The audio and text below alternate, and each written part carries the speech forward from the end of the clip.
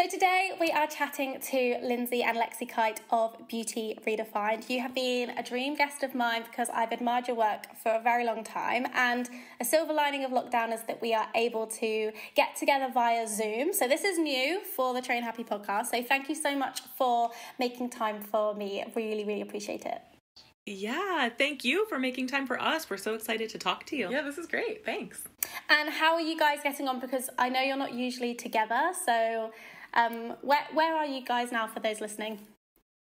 Yeah, so I normally live in New York City, which is kind of a scary place to be right now. Mm-hmm. So I came out west to Utah. Lexie lives in Salt Lake City and I'm staying in her guest bedroom. uh-huh. We haven't lived together since we were like 19, and that was gonna be like the end of us. yeah, that almost broke us. but this is much better. Now we have a buffer. I have a wonderful husband and two babies. Well, I have a five month old baby and a now she's four. My daughter just turned four, but they're a great buffer. They um, keep things they're light so and cute. happy. Mm-hmm. Yeah, they're good.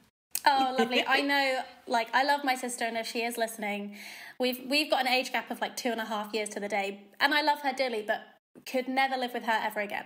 Love her so uh-huh. much. yeah, we um, feel that. this is a special time.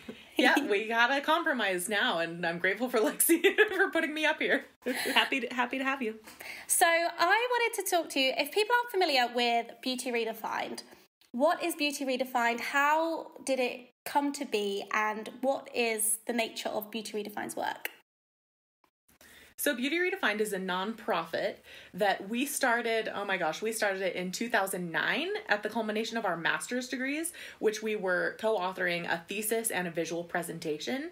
And that started as just a way that we were we were studying body image and the way women were represented in media and um, the effects that that has on all of us.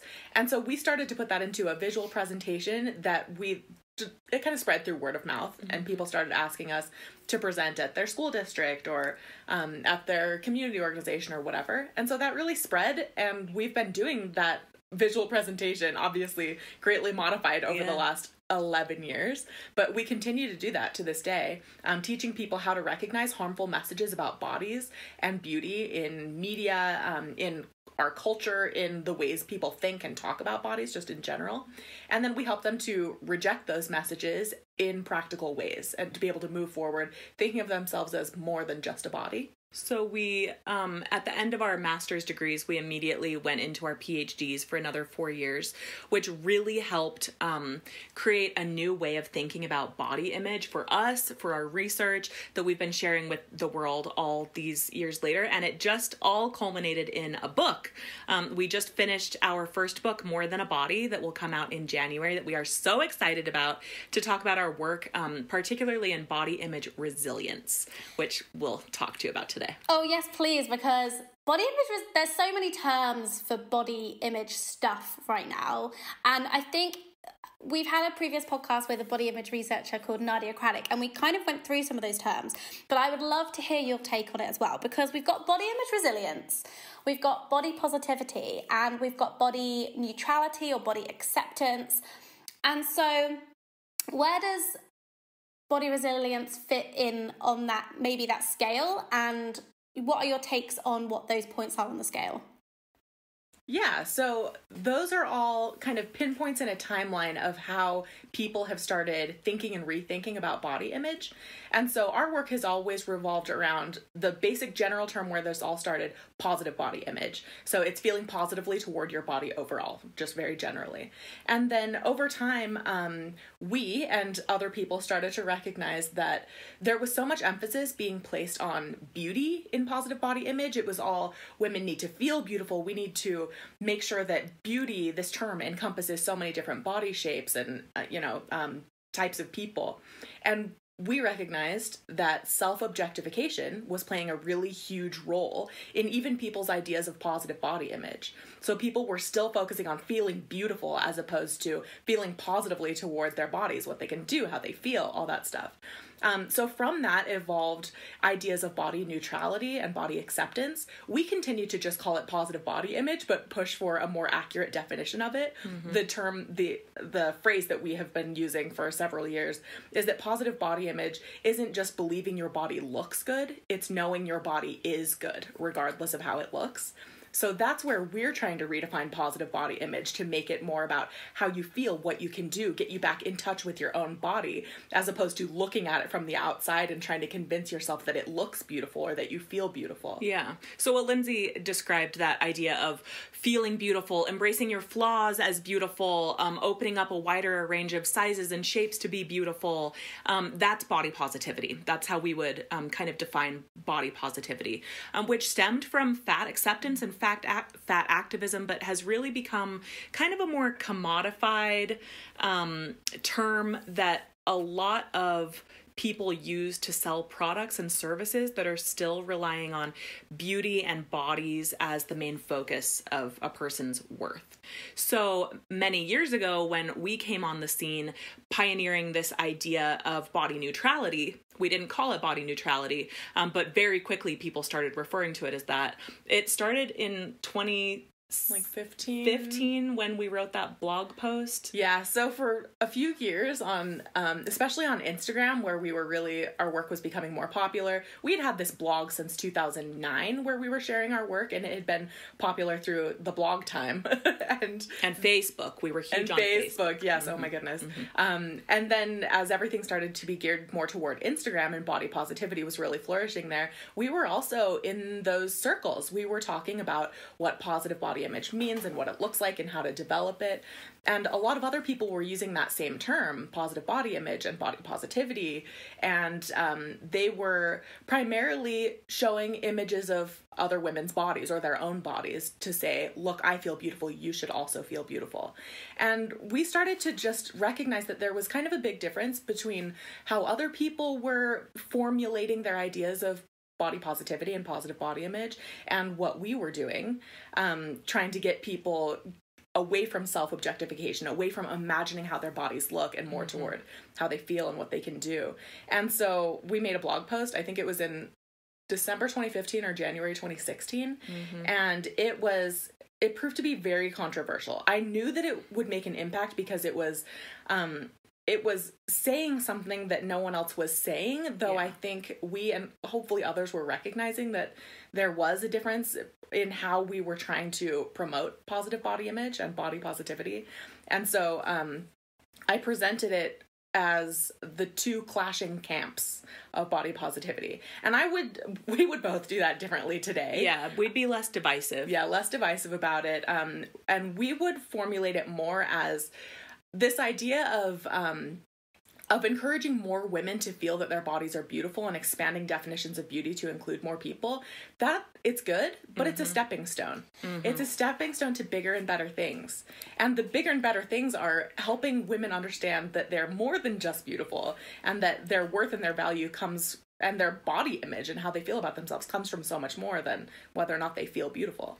So let's dig into that kind of mainstream body positivity, like the phrases we're using. So if we're thinking of like hashtag F your beauty standards and stuff like that, is are those kind of terms um, and where we're like normalizing stretch marks and cellulite and you know acne and all these things would you say that's still leaning towards kind of that self objectification, that kind of viewing your body to to kind of be beautiful, flaws and all type thing, versus what you're kind of getting to do is to, from my understanding, is like body image resilience is like viewing the the stretch marks and the acne and the thing and saying those things don't define me and don't make me a bad person. And actually I ha- I'm still me no matter what. Is that where we're getting to?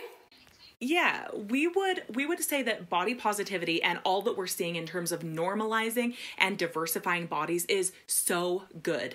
But if we stop there we are missing so much of who we are. If we stop there and we just stop at beautifying the stretch marks and showing the cellulite and showing the belly rolls all we're doing is still playing within the rules of that system that has always objectified and dehumanized us. It's a system that is built particularly on the backs of women by telling women and girls that our bodies are our primary source of power and value, and that's all we're ever going to get from them. It's telling us that once we feel beautiful and once we look beautiful to others, or we F our beauty standards to feel beautiful for ourselves, then what? Then we feel beautiful. Yeah, our work tries to take that a step further where we recognize that this idea of feeling okay, like feeling normal, is such a huge step in the right direction for so many people. Mm-hmm. So many people who, by all measures, are normal in our society, but grow up feeling disgusting and embarrassing. Mm-hmm. And, you know, we were like that we are totally normal girls growing up and yeah. in a middle class lifestyle where white we've got all these privileges mm-hmm. and yet we felt abnormal and disgusting. And so for girls and women growing up and growing older today to see images that look a little more like them and women who are proud and unapologetic, that is without a doubt a good thing. Mm-hmm. But if we stay there and continue to just seek out other images of other women who are beautiful and constantly have to remind ourselves that okay, okay, the rest of the world says that this is not hot, this is not sexy, but these other accounts say that they are, you know? It's a vicious cycle because the whole world is pushing back on that idea that your stretch marks are beautiful and that your acne is okay. And what we're saying is normalize those things. If you need to feel that they're beautiful, fine. Mm-hmm some people will tell you that they're not, and some people will tell you that they are. But as long as we're relying on anyone's perception, including our own, of what looks good, of what looks acceptable, then we're gonna fail because those standards are being moved out of our reach constantly. The whole world is conspiring against us to make sure that we don't feel good enough so that we will buy their products and their services. And we need to find a different system of value within ourselves yeah. to be able to know our own bodies from the inside without relying on how they appear from the outside, even through our own eyes. So what we do with body image resilience, which we haven't talked about with you yet, is something we we don't see anybody else doing. Um, not on like Instagram, not anywhere. Body image resilience is this thing that um, has been around in academic circles a bit, but during our dissertation research, um, we developed a theoretical model for how to be resilient in the face of self objectification, um, and that is this idea of body image resilience. It is the most powerful game changing idea that you can see your pain, you can see the objectification in this world, you can acknowledge all of the pain and shame you have experienced in your life, the big ways and the small ways, the big ways like sexual assault and abuse, like um, like harassment and all of those sorts of things that come at us from the outside, like disordered eating, um, like self harm that so many of us experience illness, injuries, illness, pregnancies, addiction. breakups, like all these things that change your relationship to your own body. We all go through them, regardless of whether we feel beautiful or okay in our skin or not. And yet we're forced to respond to them. And we started to recognize that in the other theories that existed about objectification, it was this vicious cycle of of staying in a rut. You are objectified by outside forces. You take that perspective on yourself. You think of your body as an object, an ornament, something to be looked at, used, consumed by other people. And that puts you back into the spiral of being objectified by others, of coping in ways that are not helpful, that will not make you feel any better. Mm-hmm. And there was no way out. Really, in all of the psychological literature, there was no way out of self objectification. It just explained all the bad things we went through. And we recognize recognized a gap there that needed to be filled. How do you get out of that rut? How do you get out of a comfort zone that is deeply uncomfortable for most women who are uncomfortable in our own bodies? And that's where this idea of body image resilience came from. Because in that cycle of feeling bad and being objectified, you can recognize that your comfort zone might be deeply uncomfortable. It might be just filled with self objectification and body shame. You might even feel okay about how you look, but you're constantly fixating on how you look mm-hmm. and having to keep everything in place all day and, and documenting your photos and putting them online for more validation and all of that. This is a vicious cycle of self objectification. I think people are feeling that maybe a bit more in because we're, we're currently in lockdown. We're currently staying at home, and you know, I've had quite a lot of discussions with people, as you mentioned, about using the way you view your body as almost as a coping mechanism, and you know, with the kind of the anxieties and the tension and the stress and fear that come with the current pandemic that is playing out in a lot of people's sense of how they view themselves and their their body image is worsening. And you know that what are your thoughts on that in terms of how we've learned to use our body as a coping mechanism the way i view it as i kind of work this through like through the therapy i've done myself and through my own experience of like I kind of I, I wrote something recently where I said my body is I through things like diet culture and self objectification, I've learned that my body is like the easiest punching bag. It is the easiest thing that I can let out all my frustrations onto. And when, you know, when shit hits the fan in other aspects of my life, the first thing I start thinking is like, oh, I've gained weight and I, you know, I'm not good enough because that's default for me. Um, mm-hmm. And doesn't that make sense in a culture where all of the importance is placed on how women look? And so then all of our successes, all of our failures, whether it's in relationships, in school, in athletics or whatever, mm-hmm. are placed on how we look or or how our bodies might appear or how they're accepted by other people. Makes perfect sense. Yeah, it makes sense that we then blame ourselves in every, you know, especially during these times of anxiety. Our anxiety gets focused back toward our bodies because we feel like that's a place where we have control. Yeah. And we feel like that's a place where a lot of our guilt is located because almost every woman in the world feels out of control.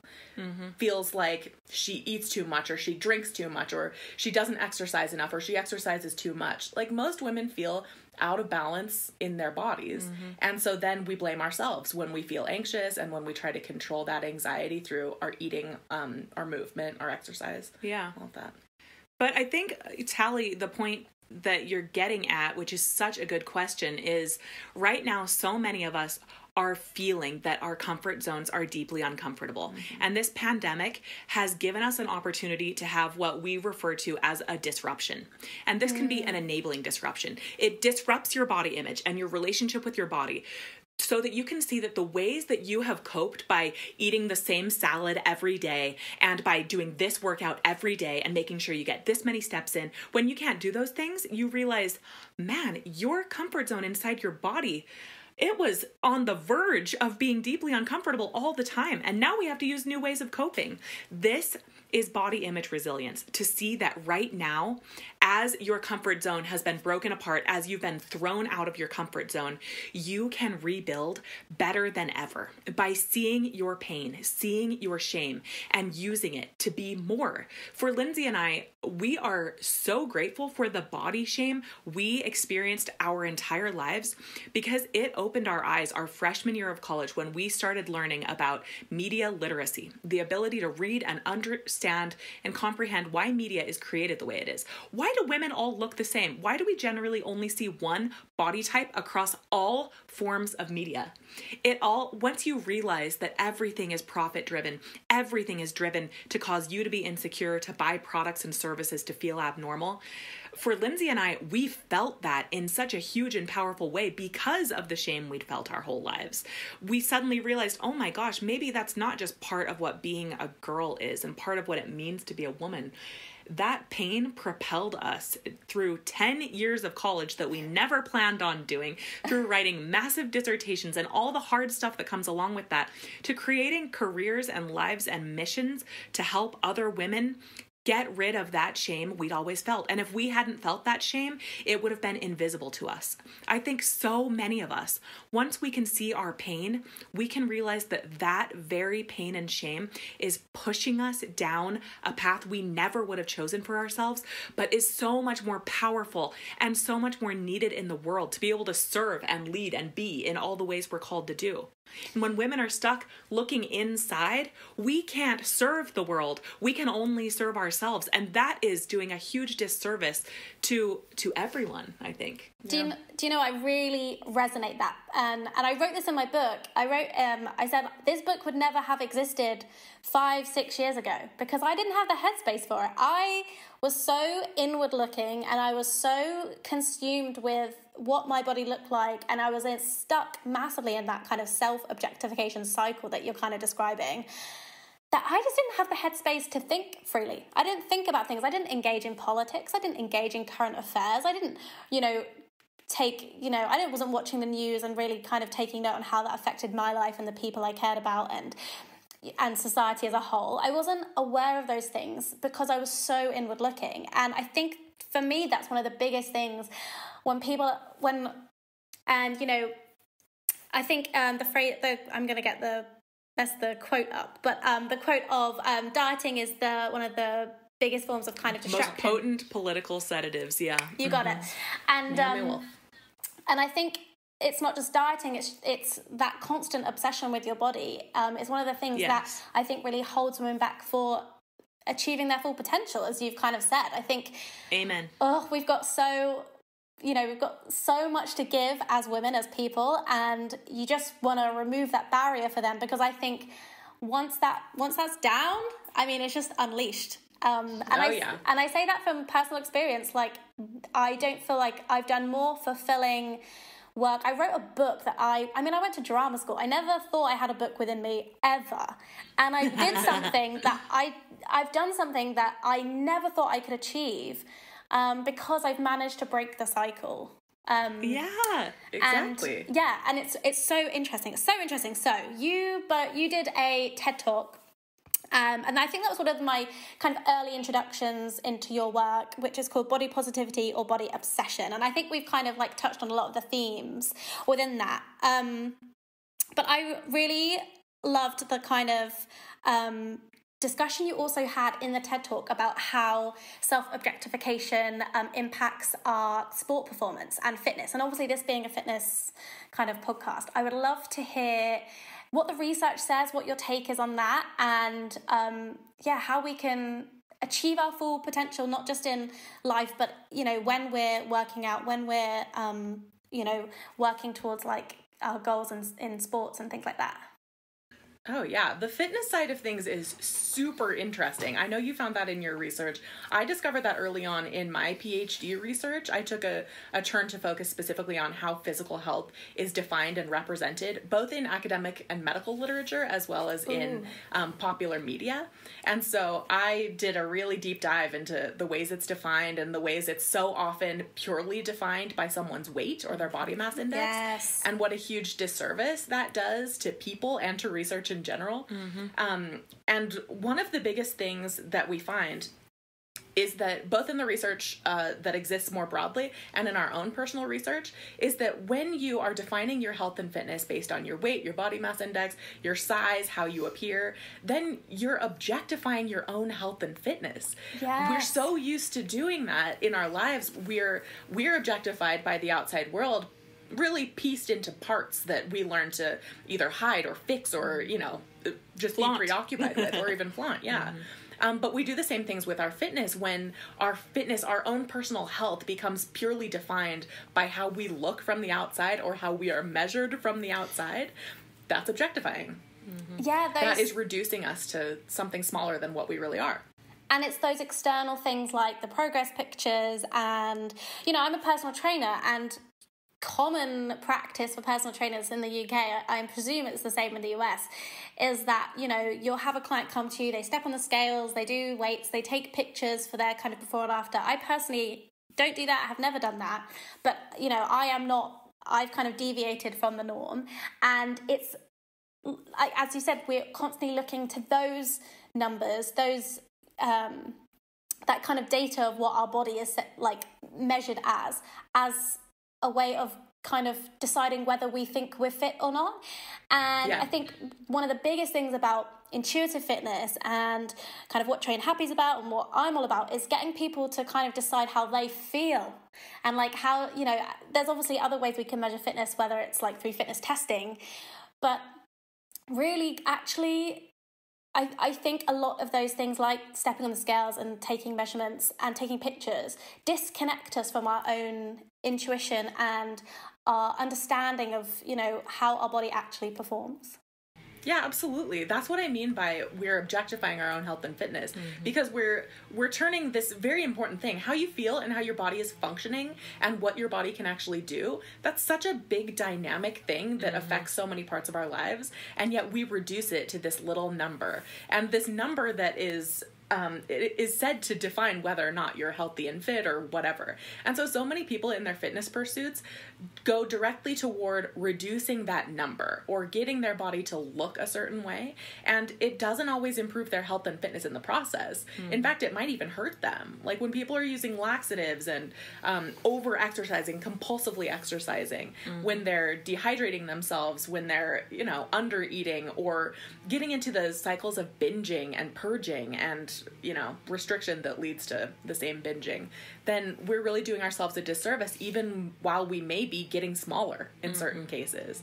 And so i love what you said about reconnecting with your own intuition. That's really our whole focus is helping people not just through fitness but in their full body image, how they feel about their bodies overall, to be able to reconnect with themselves, their own inside perspective on their bodies, rather than constantly taking on this outside objectified perspective. Yeah, one thing we found in our research in self objectification is that most women and girls' own um, experience is cut short and is constantly being distracted by feelings about how their body appears, whether they're alone or around other people. In terms of fitness, that means that when you are snapped into a state of self objectification, you can't get into a flow state. So when you're running, you cannot get into that flow state that gives you that second wind that gives you those endorphins that tell you like I'm amazing. This is this feels so good. You know that feeling you Yeah. get? I get it in my dreams. I dream that I'm running and running and running. Um, you can't get there. And how sad is that for girls and women who can never achieve a flow state because we constantly get snapped back into how we appear instead of living inside our own bodies. Yeah, are my legs jiggling? Are my arms wobbling? Do you know, I was doing a dance yesterday. I, I am almost 30 and I love TikTok. I admit it, I love it. and I've been doing loads of dancing because I love it. Um, it's. I'm actually, it's, I, it hadn't been quite vigorous until yesterday when I did quite a vigorous routine and I'm really feeling really feeling it today. It reminds me of my after how I felt after dance class at drama school. Yes. And um I did one move and I felt my my arm was jiggling and I observed it because I was like, "Huh, that's really interesting." I would have felt I wouldn't have done this. I would have changed my top. I would have not Yep. maybe not done maybe not even done the dance. Wouldn't have posted it online if I felt my arm was jiggling because Right. you know, Yeah. I'd learned that is a a wrong thing for, you know, the arm to do. And I was able to observe that and think, um, yeah, it's jiggling. Doesn't matter. I'm, perform- I'm performing the dance. It doesn't matter.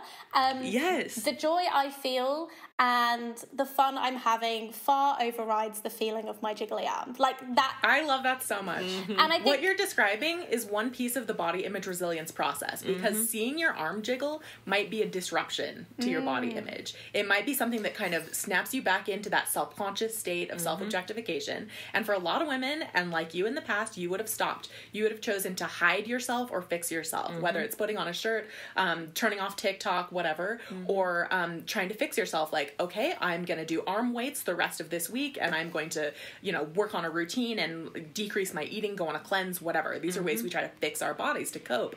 But if you do that hiding and fixing, or even sinking deeper into shame, like abusing drugs or alcohol or self harm, all of that keeps you in that bad cycle of self objectification. Mm-hmm. But what you described is rising with resilience. It's using your other ways to cope in healthy, happy ways mm-hmm. that actually send you off the bottom of that the floor you know? We get sent down sinking into shame and clinging to our comfort zones. But when you choose to use your own um, your own awareness of your body image and all that you've been through to consciously choose to reject it then you have an opportunity to cope in healthier happier ways like continuing to dance. Yeah.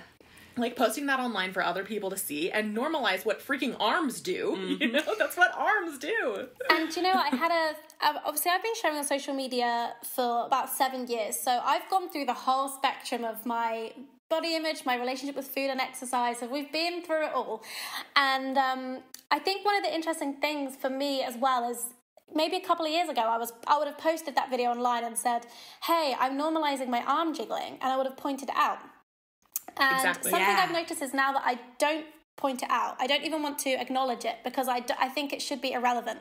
Um, Good for Yes. you. That's exactly what we would tell you to do. and I think and I think that's where you know how you kind of said how we kind of like get to a point with normalizing bodies and then we need to go a step further. I think that's one of the ways in which particularly people who maybe share content like myself or just generally post on social media for fun, it's like I think maybe rather than saying like here are my tummy rolls, just be like there are tummy rolls on the photo and you don't even have to point it out. Like it it could just be. And I think that's like another step in the right direction. Do you agree? Totally. Totally. Because when you point out, like, oh, I'm posting this with my thunder thighs, even though I hate them, Mm-hmm. that's still stigmatizing thighs. And think of all of the people in your audience, even your friends, your little sisters, you know, even people older than you who look at your feed and they they might have thighs that are larger than yours or more dimply than yours Mm-hmm. or whatever. And when someone says, these are my thunder thighs, that is further stigmatizing and distancing that viewer Mm-hmm. from their own thighs. They're thinking those negative thoughts. It puts other people into a state of self objectification. So by normalizing it and just living our freaking lives, Mm-hmm. then we aren't stigmatizing anyone else. We aren't putting other people into a state of self objectification. And we're just being who we are. There's more than a body. Yeah, because the trap can be like, oh, if you think that about yourself, then what on earth do you think about me? What on earth do you think about Totally. my body? If, if you know, and I think that's where some of the um, disconnect comes with. Obviously, body positivity in its current form has kind of been mainstreamed into quite like a thin, white, able-bodied thing. That's the face of it. And I think for people who started it, as you mentioned, from like the fat acceptance movement, who originate in that space, they kind of it, I think there's a frustration because they're kind of like, if you're able to normalize a certain clothes size, um, that kind of others me in a bigger clothes size. Does that, does that make sense? I think I think that's where part of Totally. that that kind of divide is happening. Yeah, absolutely. Yes. The fat acceptance movements, it started in the 70s. It all of this body positivity stuff, body positivity stuff definitely has its roots there, but fat acceptance was so much more radical than Oh, what yeah. we see today. Like it was all about like reclaiming your space, mm-hmm. making literal space for people, but also showing that we are not invisible. Fat people exist, fat people can be healthy, fat people can be happy and loved and all of those things. Mm-hmm. But unfortunately, when body positivity has gone so mainstream and so accepted by, you know, huge industries, companies that really make bank off of it, while who knows if they even make some of those sizes, that has happened so many times where a retailer will post um, images of models that are larger than what they would normally use, yet they don't even make clothing in those sizes. Like they special make it just for the models and don't sell it in their stores. Gah. Happens all the time. You don't know what people's real motives are. And so this mainstream kind of watering down of fat acceptance into body positivity has just made it so much more palatable for people who are still fat phobic who still have really negative ideas about what fat means and and how fat people are you know less deserving of love and Promotions acceptance and, yeah, help. else. all of it Yeah. And how do you find that work on that piece on fat phobia um, in kind of woven through the body image discussion? Because I think for so many people it is at the core. Would you agree? I think particularly Yes. in the fitness space where I'm coming from, the fear is weight gain. The fear is Yes. a bigger body because it kind of goes against everything that particularly in fitness that we're working towards we're working on leaner tighter smaller toned all these things are meant to be the opposite of a bigger body and so um, i think you did a post recently actually and i sent it to someone in my dms because i think you said talking of weight gain it's like if that's part of your healing process like welcome home to your body i think i'm very Yep. much paraphrasing there um, and uh, yeah, can we just like talk about that piece for a sec? Yeah. Yeah, I mean, fat phobia is it is um, kind of woven through every part of culture you could ever imagine, and it is a really difficult thing for people to understand and accept because it is terrifying to think about gaining weight. It is terrifying for most people to think about living in a fat body. And that fat phobia is so intertwined with our ideas of health and our ideas of being lovable and successful because truly fat phobia is is systemic. It is in everything. Research shows that fat people have a harder time getting promotions and getting hired and any number of other things. Have a harder time finding romantic connections and partners that aren't fetishizing their bodies.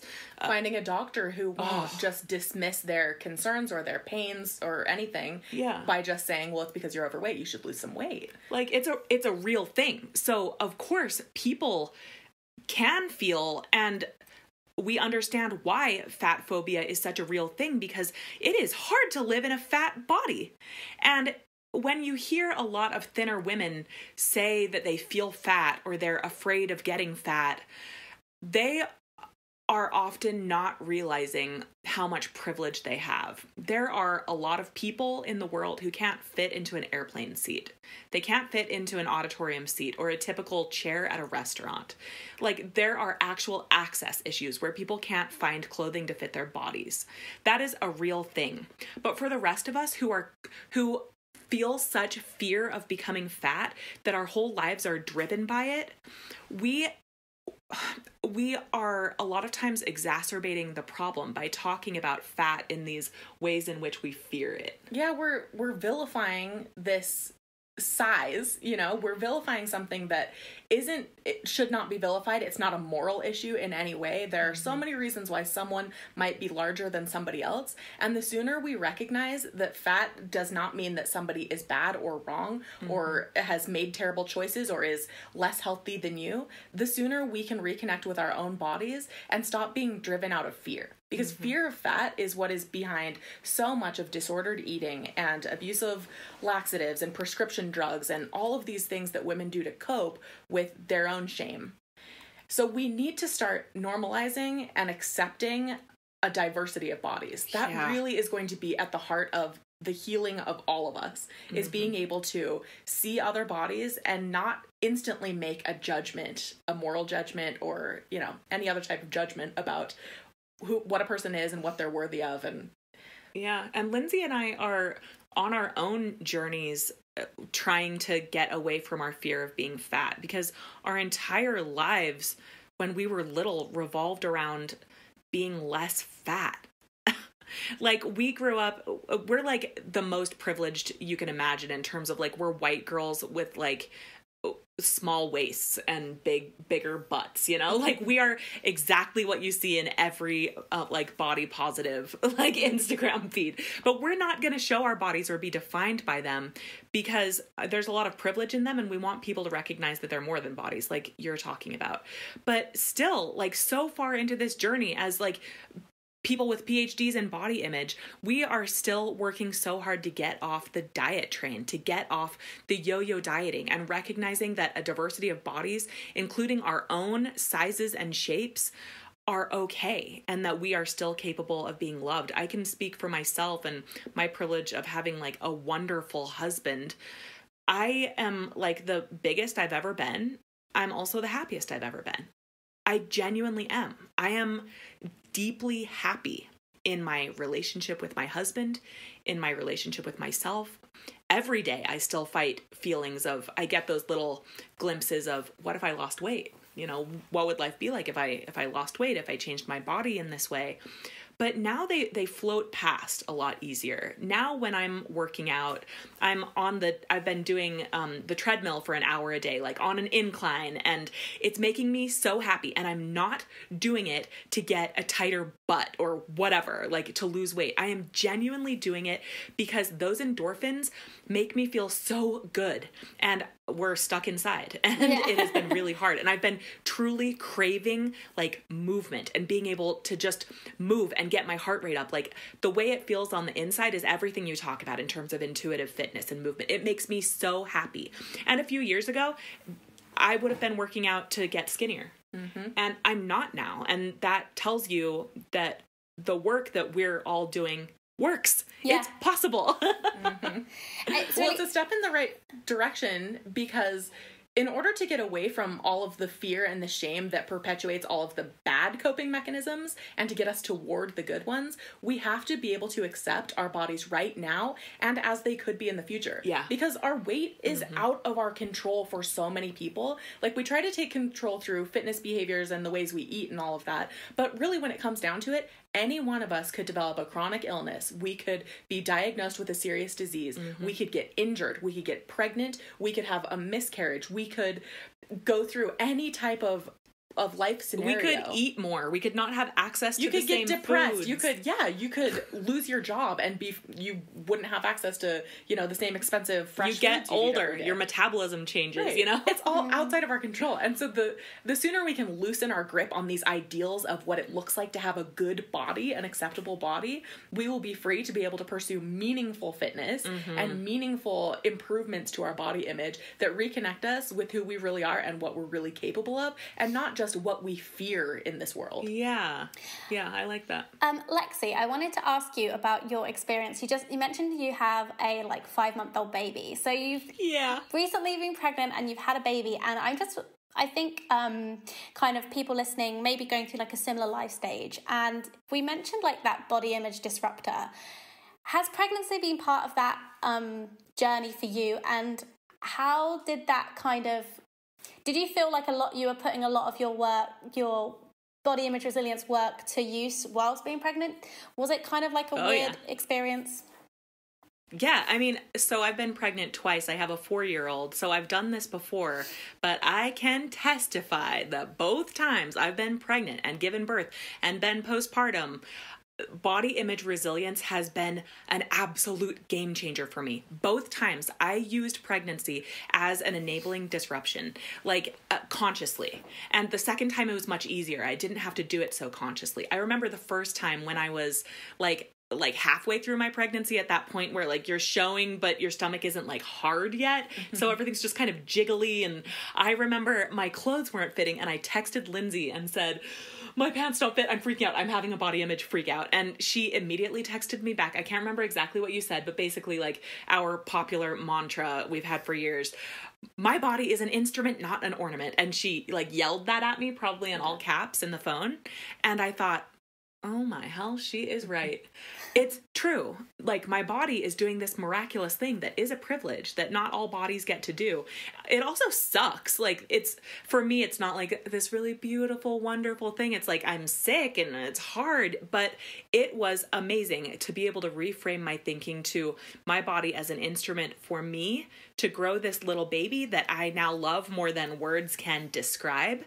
Um, I was able to to work through every little bit of my clothes don't fit ugh, by doing things differently. This time around in my pregnancy, um, I I avoid self objectification with the clothing I wear. So I wore um, uh, like my uniform at going to work every day was um a stretchy maxi dress like a like a to my knees kind of um dress with like a, a caftan over the top it was like the perfect thing to keep me from thinking about my body all day. Nothing's riding up and being pulled down. It just it kept me from self-objectifying. Um, and i was able to just like grow and change. And then afterward i had a really painful pregnancy or a really painful birth and was injured for quite a while. Just had a really hard time recovering. Um, but being able to be on the sidelines of my life for a while like not really being able to move um, really gave me this new appreciation for being able to move my body. And at about the four month mark, suddenly, like, I'd been in physical therapy and the pain started to go away. And I started moving. And I would go out. The first time I did, I went out with my daughter. Um, and this was a month ago. Like, we were in isolation, but I started feeling better. And I went out to the playground with my daughter and I kicked that soccer ball. And then she didn't want to play anymore. So I kept kicking it across the field, running to go get it, kicking it again, running. And I felt like I did in my dreams where I'm running and I'm doing it. And it's not, it's not like winding me. I'm not like so out of breath. It happened like that. It was such a gift to be able to feel myself move. And my little daughter, Logan, said, Mom, you can run again. And I thought, I can run again. And now I'm not going to take it for granted. So, yeah. I think that's awesome. And I wondered, did you take bump photos? No, Would- I didn't. I'm just not a person that takes a lot of like body centric photos. The first time I did, but maybe, Maybe I it took took like one. one each pregnancy or something. Yeah, because it's kind of fascinating to see Mm. how huge your stomach gets. It's a shock, but no, because I don't like the after photo. I don't like when people post like, "This was my nine month pregnant stomach, and now this is my nine month postpartum stomach, and look at how small my abs are back." No, I'm not going to do anything like that. My abs aren't going to be back. okay, interesting. Well, whilst we've mentioned it, then I think we should um, talk about before and after photos in fitness because Yeah. I know that you have posted about this set multiple times. I think you post about it periodically on social media, and the comments are always so interesting because it's quite a divisive topic. I think people feel really protective over um, body transformations, particularly, and Yeah. um, like I know, um, I believe the famous model Kate Upton got involved in some comments before. Maybe did she? maybe. No, I I, don't think know. I think maybe you didn't realize who you were replying to, but I think I think maybe. Um, and but people were kind of saying, you know, people should be allowed to feel proud of themselves and for changing their bodies and you know making these big lifestyle changes. So where do you stand on before and after photos? And obviously, this is happening so much within fitness. Um, We Yeah. spoke about bump photos, but where do you stand on before and after photos? Well, we're opposed to them. okay. This is not to judge anyone who has ever done mm-hmm. a before and after picture or who likes to look at them and feels inspired by them. This is no judgment. This is purely from a place of our own research and Yeah. understanding of how they affect other people and how they affect the person who does the posting. And so, as you know, one thing that we are extremely concerned about is self objectification because when mm-hmm. women are thinking of their bodies from the outside, then we are not fully living our lives. We are not living up to our full potential and we are less happy. Like when you're self objectifying, you are less happy. You are less, um, you feel less positively toward the whole world and in- including other women especially and so when people are posting photos of how their bodies look they're only capturing a snapshot of how their bodies look in that moment we know that those images can be manipulated and changed you know within five minutes she could look completely different from a different Totally. angle different lighting whatever and so what we stress is that taking those photos kind of serves as a way that we self objectify just in a more permanent form. When we self objectify, we are imagining a picture of ourselves. You don't even have to be looking in the mirror to be self objectifying, you're just imagining how you look. But when we make that more permanent when we take a photo of our bodies and call this our starting image or our before. Mm-hmm. And there's usually some judgment attached to it like I don't look great here. I've got my leggings pulled down in a way that is really, you know, unflattering for the way my belly looks right now or mm-hmm. whatever. And and so people call that their beginning picture. And then always the after picture is supposed to look like Better. better. They're they're supposedly just documenting their fitness in a lot of cases, but every single time that body just happens to look smaller, just happens to um, have the clothing arranged in a more flattering position, just happens to have better lighting, and you know all of these things. It serves to distance us from our own actual fitness. There may have been incredible internal transformations going on in between those two pictures. Their cholesterol might have been reduced. Their blood sugar might be totally um, stabilized at this point. They might have, you know, decreased blood pressure, all of these things that are really important to our fitness. They might be able to run five miles now without stopping or getting winded or do a certain number of dance classes or swimming laps, whatever their goals were. But instead, when we reduce it down to these pictures, we're kind of forgetting about all of those things. We're breezing right past them and instead purely focusing on how bodies look. Yeah. And really, most people aren't satisfied at the end. Even if their after photo looks really awesome, those people don't say, All right, I'm good now. I look amazing, just like I always thought. They say, Okay, in five more pounds, I'm going to look even better. Mm-hmm. Or in three more months of, of upholding this same routine, I'm finally going to feel more confident in my body. It is a losing battle. And from personal experience, for me, it wasn't a case. I got to a point and I was like, I was just terrified of losing it. I was terrified Yeah. of there being any changes. And the more I focused on my body representing the, the, the what I believed were the health and fitness changes I was making, the more I became interested in it. I actually grew up as a teen, Yeah. not that I'd never been on a diet until I was like 21 not not properly and i hadn't grown up in a household of dieters i am in a very unusual position but Mm-hmm. um i going into the performing world obviously you're looking in a mirror all day um, Yeah. and then magnify that by deciding you're going to get healthy, but you only equate healthy to getting smaller because that's what you learned on social media. Um, so for me, getting healthy was like taking pictures and like just constantly checking my body and like, is my bicep Yeah. defined? Is this is my are my abs showing today? Um, because that was very important to me. Um, and for me, it's so interesting. Like the more I focus on changing the body, my body, the more I became insecure about it. Because previously having not been that bothered i mean i can't say i was like you know this body loving teen but i just wasn't it wasn't like my main my main focus um to actively focus on it on it it made it worse for me. It became so much worse. Yes. Um, it didn't improve my my smaller body. Yes, I received so much more external validation and the compliments and the, you know the wow, you look amazing, because I did lose a um, a lot of weight. But in my mind, the freakouts, if there were any fluctuations in my body, you know, if I basically eaten a meal, you know, drunk some water, just the the internal monologue going on was just of you know constant fear that this could all change and this could all be taken away from me. Um, Totally.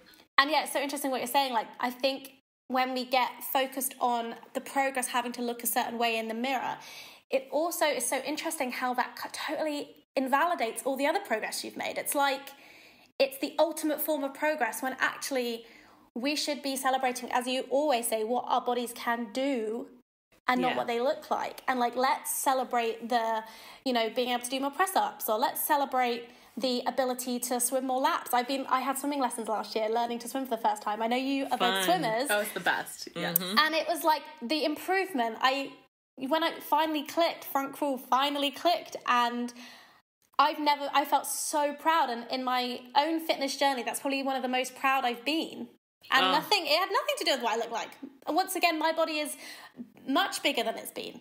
But Totally, it didn't that was irrelevant because i achieved something. And i think it's so frustrating when people are achieving so much great stuff and then we undermine it with a photo Right. And the real problem is a lot of that fitness improvement will never show up in a photo. Yeah. There's just tons of exercise science research that shows there are marked health improvements in mm-hmm. people who start a meaningful exercise routine, one that they enjoy and that they can consistently do.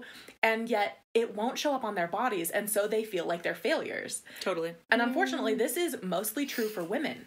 Women feel like they're failures when they do everything right on an exercise regimen in research.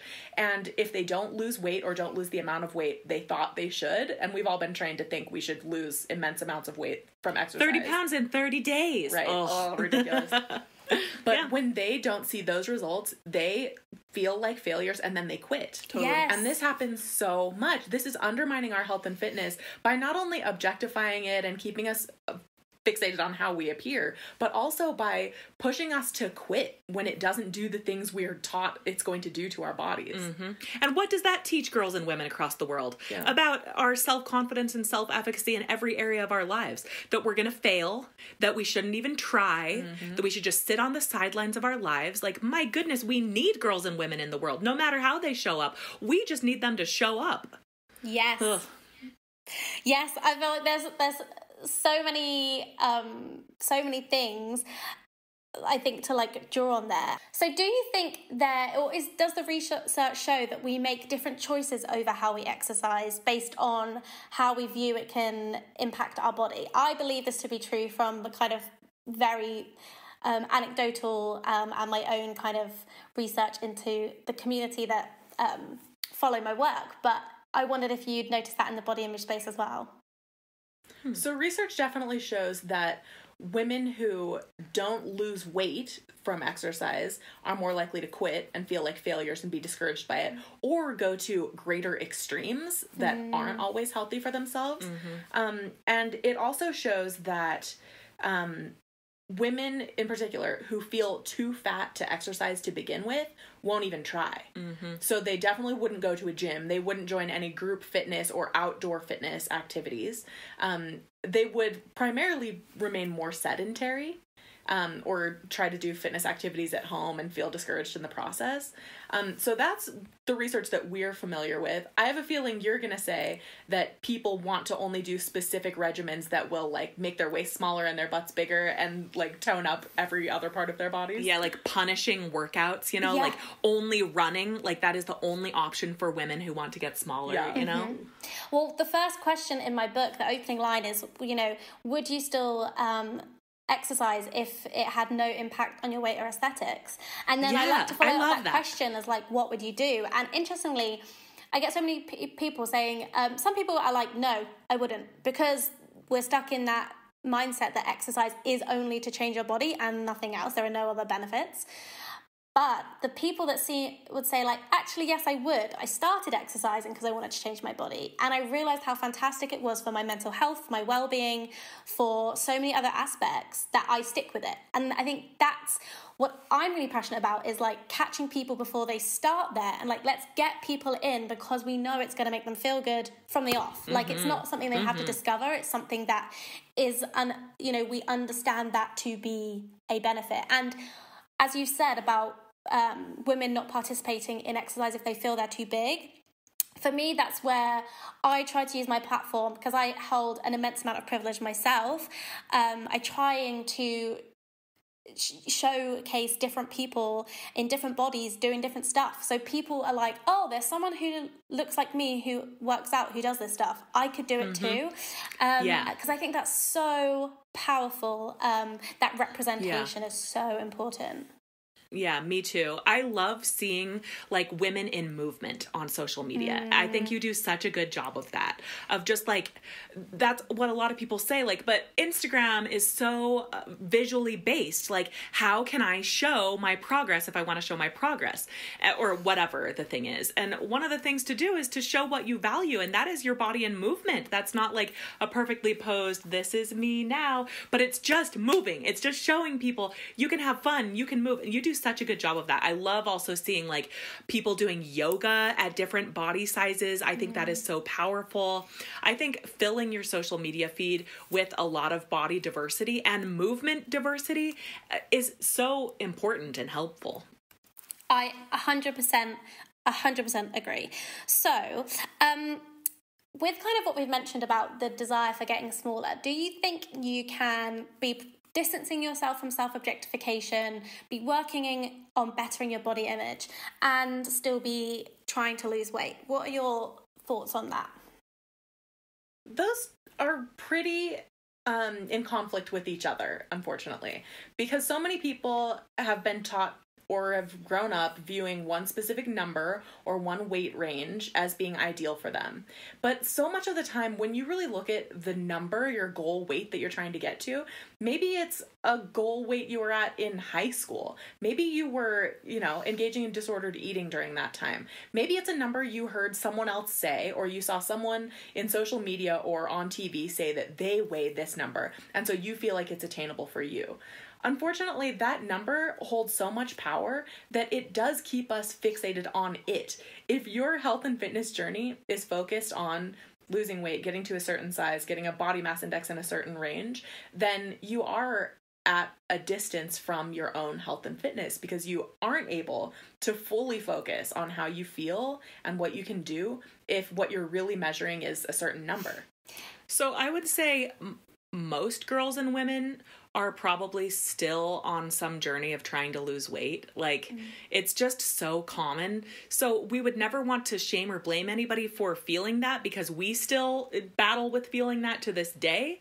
Um so I think that while they're at odds with each other, there is a world in which you can validate your your feelings of wanting to lose weight and dig deeper to what that means. What do you really want? Do you want love? And you feel like you can't get it until you lose weight.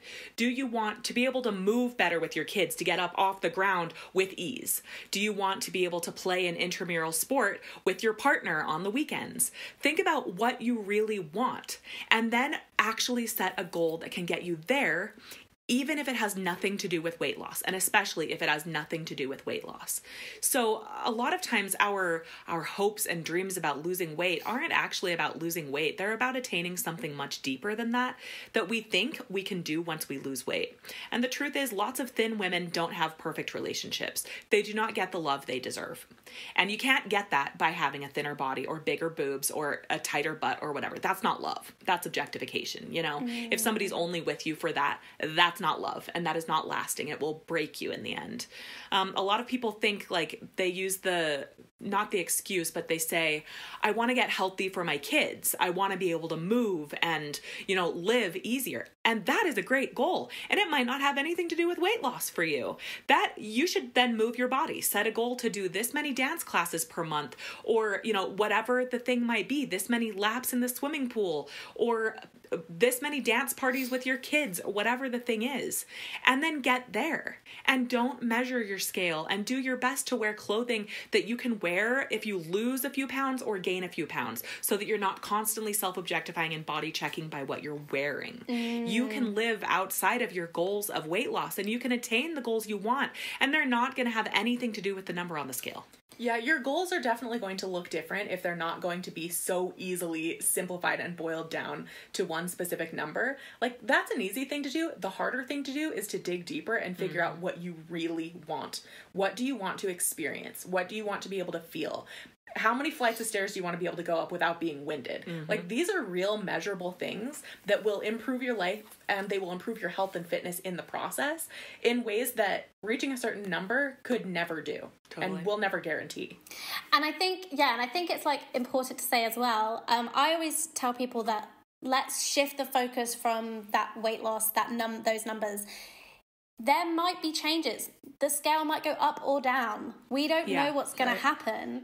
And we just, as, as we're kind of neutral about our body image, we need to be neutral about that as well. We need to kind of say, mm-hmm. like, it's not that, um, particularly in the kind of non diet space, it's not that I think people get the the mis the confusion that we're kind of saying like weight loss is bad full stop no one yeah. is allowed to lose weight ever it's not that at all it's just saying that focusing on that, you know, doesn't serve you and your body your weight may fluctuate and change and that is absolutely okay. That might might be a byproduct for some people but the more we focus on it the more it's detrimental to our overall well-being and it's like let's find that differentiation because i think amen you know we've got like you said like the progress in fitness our health everything is so intertwined with that number on the scale and let's remove that out of the the kind of um, the equation. And what you were saying about when we're wanting weight loss and actually wanting other things like love, acceptance, to be liked, um, to be needed.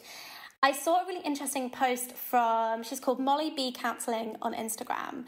And she said, um, we're basically, one of the things that's potentially harming us, whether that be our body image, the way we view our bodies, is that we're all striving to be happy. And in that pursuit of happiness, we might turn to um, like substance abuse or um, you know disordered eating or this intense focus on our body image and that we're all essentially just trying to be happy but we just haven't had the tools to do that um, and that was like a bit of a light yeah. bulb for me i was like yes and um, I'm a big advocate of therapy and I want to talk about it as much as possible because I want to normalize mm-hmm. it as mm-hmm. much as possible. And, you know, I, I think this is where if I had, um, you know, a pot of gold, I would make sure that everyone got to see a therapist because I think that's where you get to work on this stuff because a lot of the stuff that we're craving with wanting to change our body is that inner turmoil that we haven't quite dealt with or, you know, if we just change our body, that will fix actually the deeper feelings that we kind of touched on before. So, mm-hmm. yeah, yeah, I think what you're getting at is so important because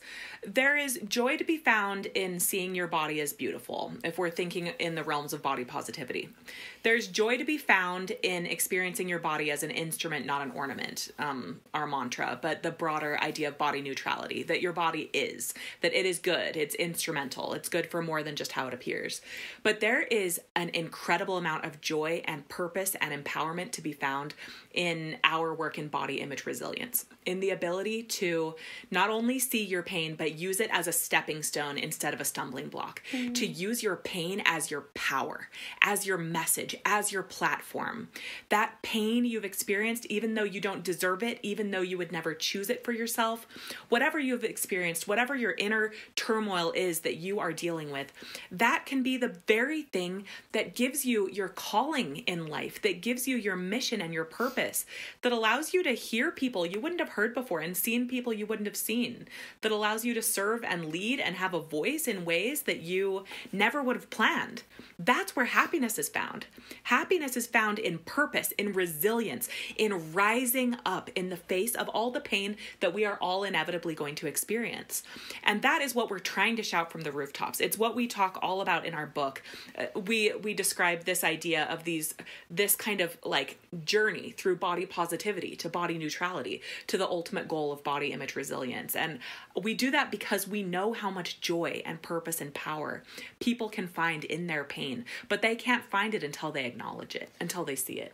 And one of the most important pieces of this is that body image resilience isn't just like a status that you get to. Mm-hmm. It's an ongoing process. You develop your own ability to experience body image resilience every time you go through something difficult that knocks you out of your comfort zone mm-hmm. and forces you to respond. So this pain that Lexie's talking about that can point you toward your mission and your power and all of that, it's really just those hard things you go through that change the way you feel about your body that give you an opportunity to respond in a new way. Yep. So maybe all the times before before you would have hidden or fixed or coped in really harmful ways. This time, you can respond in ways that actually serve you by using your body as an instrument and not an ornament, by really engaging your brain to figure out what are my goals? What am I looking for? What's causing me this pain and how can I work around it? Therapy is one of those big ways mm-hmm. that you can actually uncover what's at the heart of all of your pain and suffering. Because for so many of us, we learned these ideas, these core beliefs as children. And one of those core beliefs for way too many of us is that fat is bad and that having a larger body is wrong and it will make you unhappy and unhealthy. Mm-hmm. We have to unlearn those core beliefs constantly by going through these hard things and choosing the path to body image resilience mm-hmm. instead of just hiding and fixing and coping. So, something I've always wanted to ask you both, um, because this is something I have had my own inner conflict about and I'm interested in is stepping away from self objectification, working on viewing yourself as more than a body, but um, wearing makeup, do, using fake tan, um, get, doing your hair a certain way. For me personally, I've kind of wrestled with that maybe for like the last 12 months. Um, really trying to challenge myself in how I do I need makeup and being able to just be without it. Um, like I had a like I had a wedding in September, and it's really interesting. I was looking back through like a load of photos with my boyfriend the other night, and just the evolution of myself was so interesting since we started dating like six years ago. It's been a whole whole the whole journey, and uh-huh. um, it was interesting. This final wedding, I I remember saying to myself like, I'm not gonna fake tan for this wedding. I had awful um, tan lines on my back from where I'd been sunbathing because it was like a, an, a, a wedding abroad. And I said, no, I'm not going to wear this. This backless dress. I'm not going to tan because I do not need a tan to feel good about myself because I don't. I do not want to rely on fake tan for my mm-hmm. for my self esteem. And um, I've kind of from the conclusions I've come to myself. But I'm very interested to hear your thoughts. The conclusion I've come to myself is, I. It's like I've I'm, I have permission to use these things, but I need to use them and not rely on them. So I can like use them. So I'm wearing makeup now, but um, I can. I don't feel like I'm a better person right now. I just feel like I'm the makeup version of my face, and me without makeup is also me and my face. And it's yeah. Once again, find that neutrality in that, and I think um, yes. you know my pale skin is my pale skin, and sometimes it's tanned, and those are like I'm allowed to tan if I want to, but you know, it's not because I think that's better, that just is. And that's where I'm trying to get to. What are yeah. your thoughts? Yeah, we, we have a lot of thoughts on this.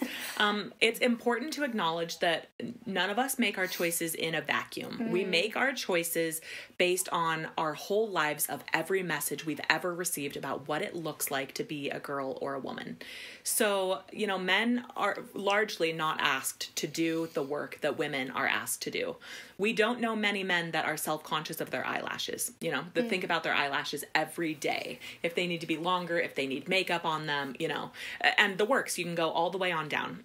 It is important to acknowledge that every single inch of our bodies have been co opted by industries that are profiting from us. Every inch of our skin, every inch. And we go through every part in our book. Yeah. Ooh, that was a journey. right. It's not just like a natural female human way to be to think that our skin needs to be darker for white women and lighter for dark women, you know? Like these are things that we've learned. And but really the answer is just in the asking of the question. You wrestling with this whole idea of like am I relying on this too much? Am I um am I self-objectifying by wearing makeup and all of these things?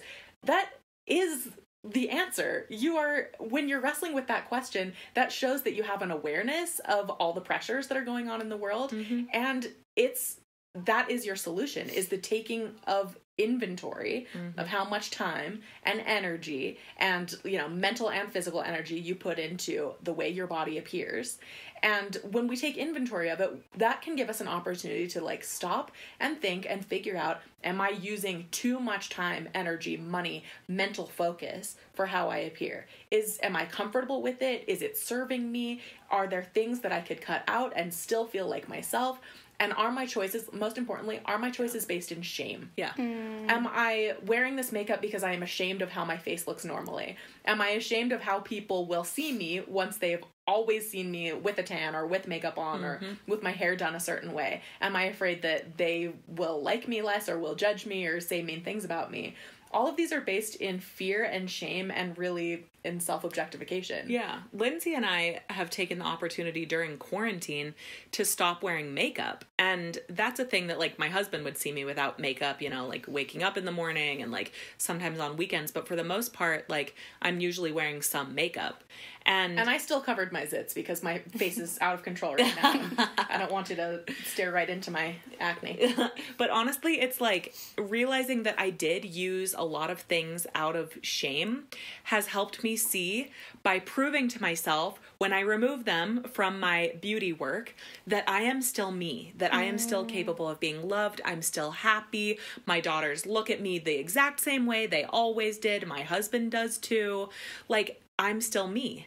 So take the time. If somebody's listening to this during isolation, take some time to remove things from your routine that you are doing because you are motivated by shame and you will find joy and freedom on the other side of that. And then you can go back to it when you want. You can use beauty work as you know creativity by painting your nails or whatever it is you're doing but find joy in it not not shame try not to do those things out of shame And what we really want people to hear in this answer is that there is no right or wrong way to do this. Yeah.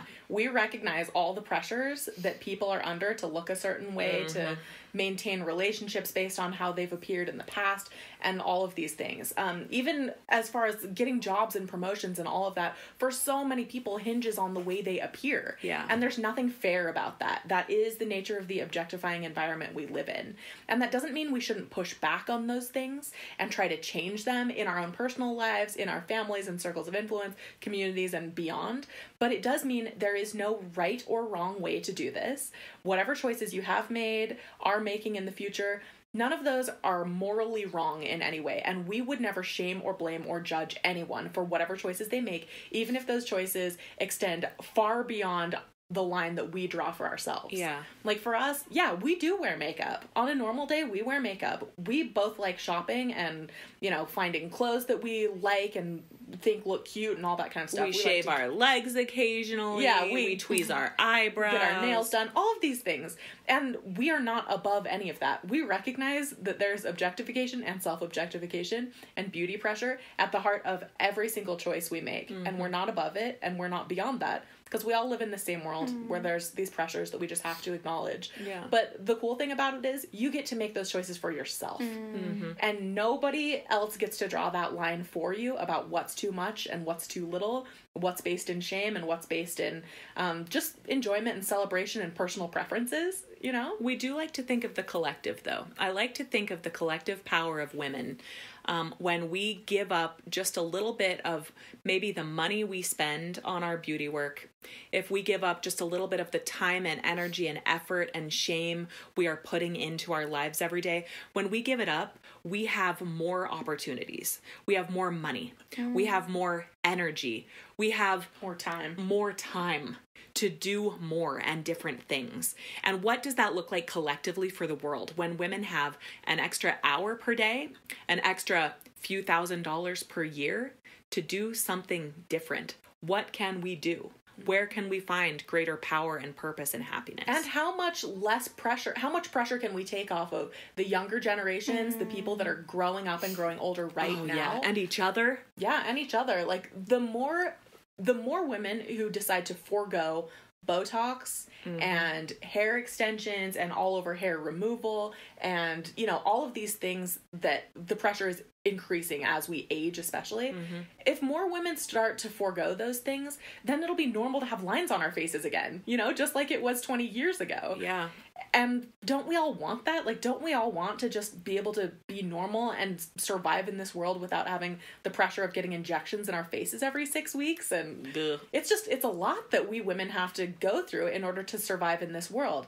So we recommend take inventory, push back in all the ways that you possibly can. If you can feasibly avoid getting cosmetic surgery, um, having all these procedures done to change the way you look, spending your time, energy, and money in all of these ways, do it. Do it. Try it. See if you can survive, you know? See if you will still be able to be happy, to be loved, to have success in your career, all these things we fear losing and missing out on. Yeah.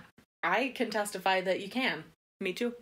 I find it really interesting. Like I said, I mentioned being on TikTok um, with seeing where kind of like 17 year olds' heads are at and seeing how they view their bodies. And I'm very saddened by what I see. Um, I was kind of hoping that maybe there would be a bit more of a pushback against stuff. And there, there certainly are people on there trying to, as we spoke about, like normalizing bodies and all that kind of stuff. But they're a very small minority, and a lot of people are wishing they look like celebrities, wishing, you know, comparing their bodies. One of the, I saw one of the biggest TikTok stars at the moment, I think she's got nearly like 30 million followers, um, tweeted that there had been videos made you know, commenting on her body and, you know, that she may have gained a bit of weight. Um, and I just, my heart broke. I just thought the pressure these kids are under, particularly those who have like, you know, got this these audiences following them. Um, it feels almost greater than ever. And I wondered what advice you had for parents listening, and you know how to navigate that. What, how can we protect those younger girls, just young people in general? How can we protect young people um, and help them break this cycle? I think the first thing we need to do is to be super straightforward and honest with young people, starting when they're really young. Like, start with five year olds and tell them that these advertisements that you're seeing in between your YouTube videos with all of the, you know, sexy dolls and like makeup kits and beautiful, all the stars that look a certain way, be so straightforward and say, all of these girls look the, the same way, don't you think? Like all the princess ideals you see, they look this one way. But people don't really look like that in real life. And all of the mm-hmm. people that you love in real life, they might have different body sizes, and their hair and faces and skin tones might be totally different than that. And that's because these media makers want you to feel bad about how you appear. They want you to think that beauty only looks one way, but it mm-hmm. doesn't. When you can get just real and raw with kids from a young age and include teenagers in that and say, you know, everyone wants you to be skinny. Everyone wants you to be as sexy as you possibly can and, you know, and that sexy looks these certain ways. This has been going on since the dawn of time and mm-hmm. your generation looks at sexy this one way and the, these ideals might look this one way But I want you to know that you don't need to live up to those ideals. I want you to look around and see the people in real life who are healthy and happy in positive relationships, in successful careers, who are leading organizations and governments and whatever, who look a huge variety of different ways and see what the real possibilities are. Yeah. Don't get stuck in seeing your body as a, an ornament or something for other people's use and enjoyment and experience. Instead, find your own joy, your own power through reconnecting with your own body, regardless of how it looks. You'll be able to find all the power in the world you need to be able to live a good life and be happy and successful without just conforming to all of these ideals that the whole world has has trained you from the time you're 2 years old to believe. Yeah. I I think that even as we're steeped in all of this body image stuff, we feel a lot of hope for not just our generation. It seems like there's a wave of women right around our age that are ready to rebel mm. against these oppressive systems. You know, you just feel it. Our eyes are opened. We can never shut them again, you know? And we're the ones that are having the babies and raising the babies hopefully differently once we heal our own body image. But we do feel a lot of hope for this younger generation that that I think wants to rebel against some of these old school oppressive ideals. I think there is hope that they can as they're creating their own content that they can find some freedom in breaking free. You know, there's people like Billie Eilish out there that are, you know, breaking the I'm obsessed with love. her. I Totally. honestly think she's just amazing. Um, Totally. Yes, she and and I think people and seeing like the discourse around her, like observing the teens on TikTok talking Yeah. about Billie Eilish, I think it's really powerful how they really respect the kind of statement she's made by Yes. deliberately choosing not to show her body really. Um, Mm-hmm. Except she did recently in her show, didn't she? And she wrote a really cool statement about it, like "I'm Yeah, damned if I do." was Basically, awesome. it was like "I'm damned if I do, I'm damned if I don't," um, Yep. and ultimately, I'm going to make the choice for myself. And I think that is Yep. really cool. Me too. Love that. Yeah, I think there's a lot of hope to be had. I, it will take our generation healing our body image. Mm-hmm. It's it's the only way. If we if we rely on these fat phobic ideas that we don't want our daughters to be bullied, so we want to get them on diets young, and then they fight their body weight their entire lives, then we are just setting up another generation to be as oppressed as we are, if not more.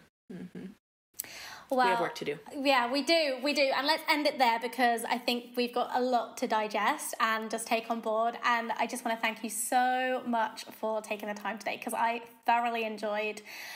Yeah, p- uh, picking your brains on all things body image and body image resilience, and I know I've taken a lot of way. So thank you so much. When's the book Thank out? When can we? Is the US release date the same date as a UK release date? Do you know? I'm not sure about the UK release date. It will be released in the US at the beginning of January 2021. Mm-hmm. Um, and I think they're still figuring out the international release. Yeah, but pre-sale will be a few months before that, and we are pumped and nervous. It's scary to put out a book with some of our work that pushes back against. Yeah, you know how it feels. It's all scary. It's But kind it's of terrifying. And then I kind of like for a long time I didn't even look in the book because I was just like, ah, I know what I said, and I just gonna put it out there. I know. you can read it, and we can talk about it. Take it or leave it. yeah, yeah, yeah. Um, but yeah, it's it's also really exciting, and I think like we kind of spoke about before we started recording, it's so exciting when people actually start to read it and internalize it. And I think if you have read Train Happy, you're listening. I really believe this book will be the next step in that kind of body image work that is so needed in in um, in relation to our work on fitness and bodies and how we engage with exercise. So just want to say a big thank you for coming on today. Where can people find you? We our website is beautyredefined.org. Find us on Instagram. That's where our highest engagement is right now at beauty underscore redefined. On Facebook at beauty redefined. Twitter at take back beauty. Thank you so much for having us on. It was so great to talk to you. You're wonderful. Oh, it was Yeah. so lovely to talk to you, and I wish you all the best for the rest of lockdown. Oh, Thanks, thank you, you you too. too. Okay, bye. Bye. Bye.